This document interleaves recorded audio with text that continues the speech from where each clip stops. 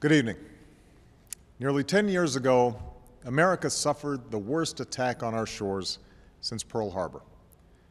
This mass murder was planned by Osama bin Laden and his al Qaeda network in Afghanistan and signaled a new threat to our security, one in which the targets were no longer soldiers on a battlefield, but innocent men, women, and children going about their daily lives.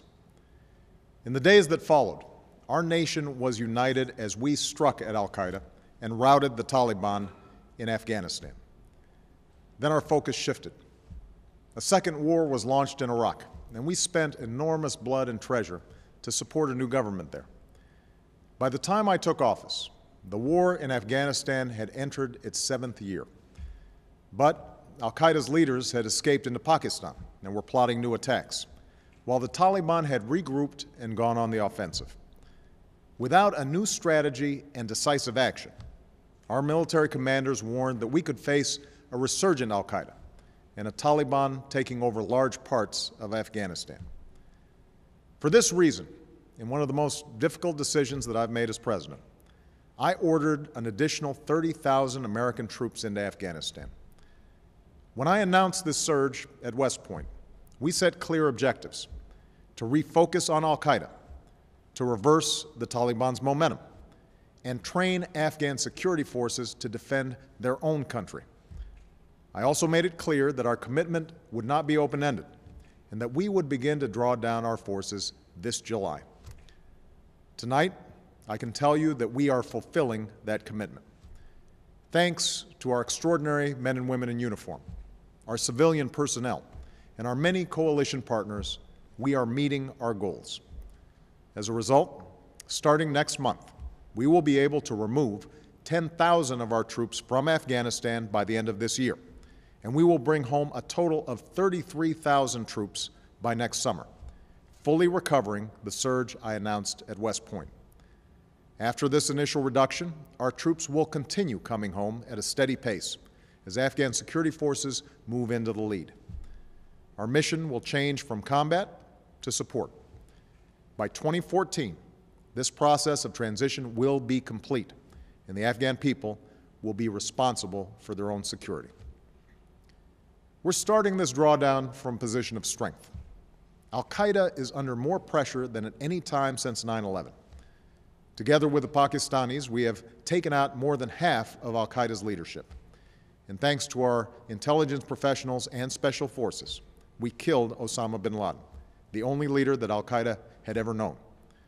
This was a victory for all who have served since 9 11. One soldier summed it up well. The message, he said, is we don't forget. You will be held accountable no matter how long it takes. The information that we recovered from bin Laden's compound shows al Qaeda under enormous strain. Bin Laden expressed concern that al Qaeda had been unable to effectively replace senior terrorists that had been killed and that Al Qaeda has failed in its effort to portray America as a nation at war with Islam, thereby draining more widespread support. Al Qaeda remains dangerous, and we must be vigilant against attacks. But we have put Al Qaeda on a path to defeat, and we will not relent until the job is done. In Afghanistan, we've inflicted serious losses on the Taliban and taken a number of its strongholds. Along with our surge, our allies also increased their commitments which helped stabilize more of the country. Afghan security forces have grown by over 100,000 troops, and in some provinces and municipalities, we've already begun to transition responsibility for security to the Afghan people.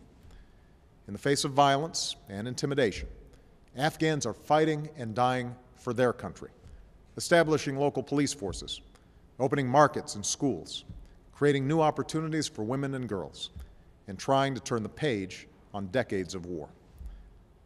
Of course, huge challenges remain. This is the beginning, but not the end of our effort to wind down this war. We'll have to do the hard work of keeping the gains that we've made while we draw down our forces and transition responsibility for security to the Afghan government. And next May, in Chicago, we will host a summit with our NATO allies and partners to shape the next phase of this transition. We do know that peace cannot come to a land that has known so much war without a political settlement. So, as we strengthen the Afghan government and security forces, America will join initiatives that reconcile the Afghan people, including the Taliban. Our position on these talks is clear. They must be led by the Afghan government, and those who want to be a part of a peaceful Afghanistan must break from Al Qaeda, abandon violence, and abide by the Afghan Constitution. But, in part because of our military effort, we have reason to believe that progress can be made.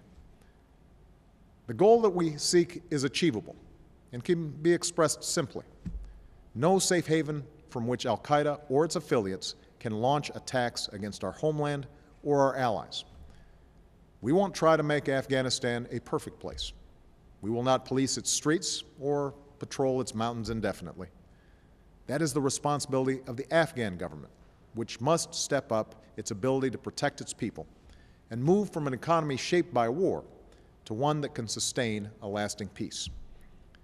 What we can do and will do is build a partnership with the Afghan people that endures, one that ensures that we will be able to continue targeting terrorists and supporting a sovereign Afghan government. Of course, our efforts must also address terrorist safe havens in Pakistan. No country is more endangered by the presence of violent extremists which is why we will continue to press Pakistan to expand its participation in securing a more peaceful future for this war-torn region. We'll work with the Pakistani government to root out the cancer of violent extremism, and we will insist that it keeps its commitments.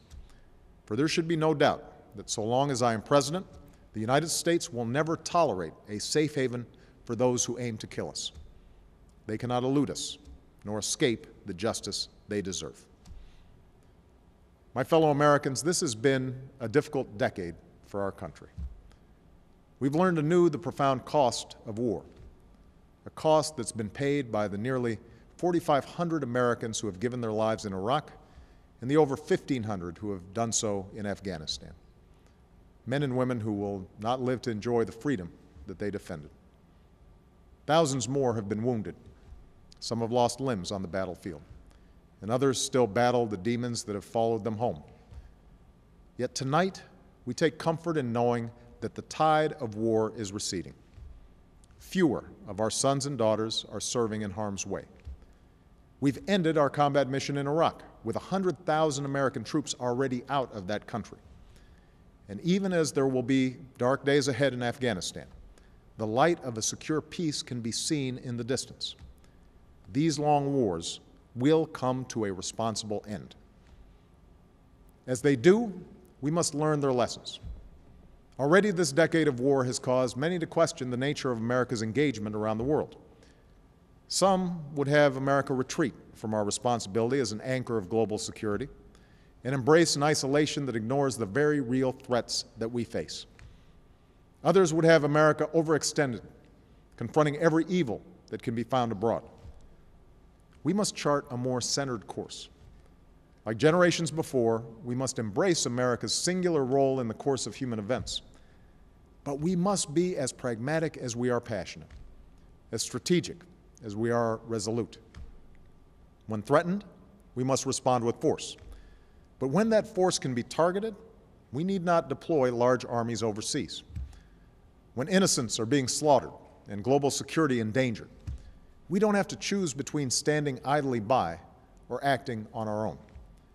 Instead, we must rally international action, which we're doing in Libya, where we do not have a single soldier on the ground, but are supporting allies in protecting the Libyan people and giving them the chance to determine their own destiny. In all that we do, we must remember that what sets America apart is not solely our power. It is the principles upon which our union was founded. We're a nation that brings our enemies to justice while adhering to the rule of law and respecting the rights of all our citizens. We protect our own freedom and prosperity by extending it to others. We stand not for empire, but for self-determination. That is why we have a stake in the democratic aspirations that are now washing across the Arab world. We will support those revolutions with fidelity to our ideals, with the power of our example and with an unwavering belief that all human beings deserve to live with freedom and dignity. Above all, we are a nation whose strength abroad has been anchored in opportunity for our citizens here at home. Over the last decade, we have spent a trillion dollars on war at a time of rising debt and hard economic times.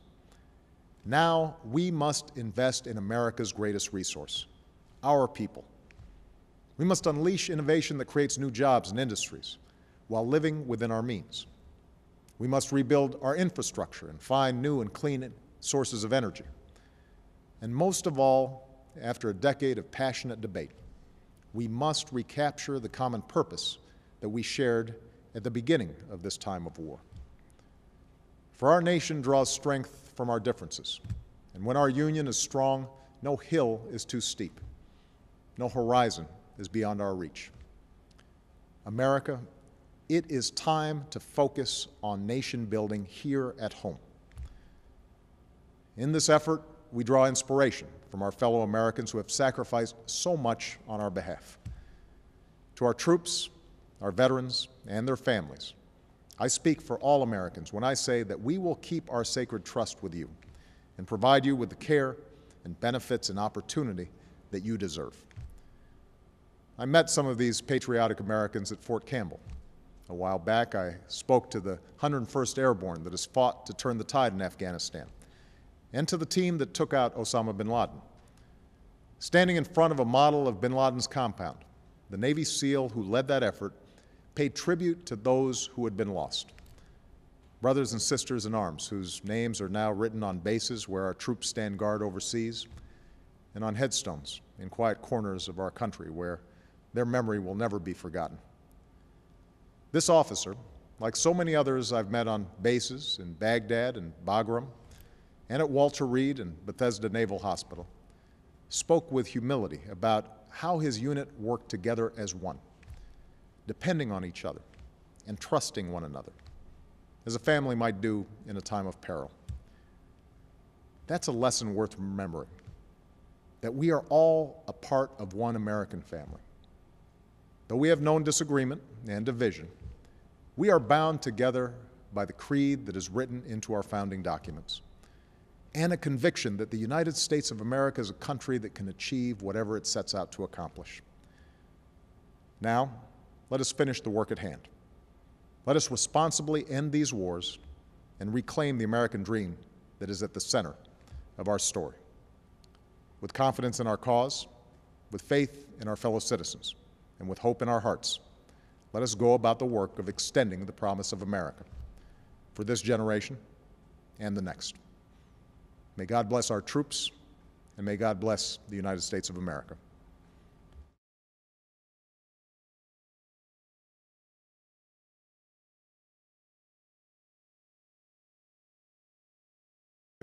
And routed the Taliban in Afghanistan. Then our focus shifted. A second war was launched in Iraq, and we spent enormous blood and treasure to support a new government there. By the time I took office, the war in Afghanistan. Good evening.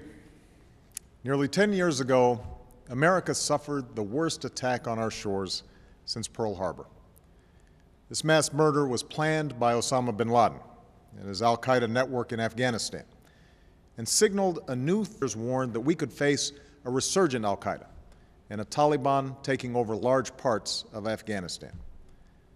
For this reason, in one of the most difficult decisions that I've made as president, I ordered an additional 30,000 American troops into Afghanistan, threat to our security, one in which the targets were no longer soldiers on a battlefield, but innocent men, women, and children going about their daily lives. In the days that followed, our nation was united as we struck at Al Qaeda and had entered its seventh year. But Al Qaeda's leaders had escaped into Pakistan and were plotting new attacks while the Taliban had regrouped and gone on the offensive. Without a new strategy and decisive action, our military commander